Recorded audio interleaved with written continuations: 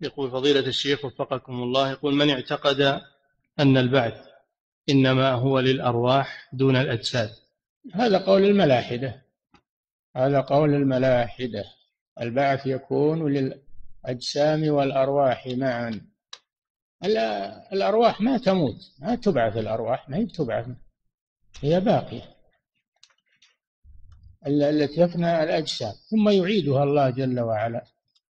نعم.